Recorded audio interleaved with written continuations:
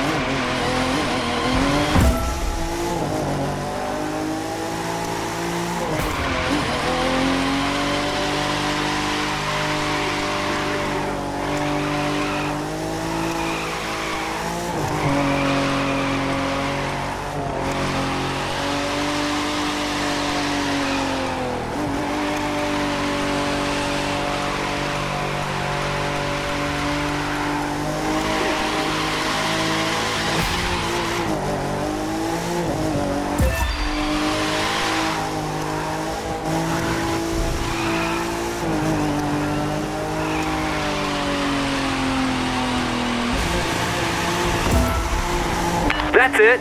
Keep a firm hand on that wheel.